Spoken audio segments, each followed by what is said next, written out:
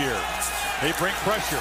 And Lawrence off the back foot, lobs it downfield, and the catch is made by Cornell.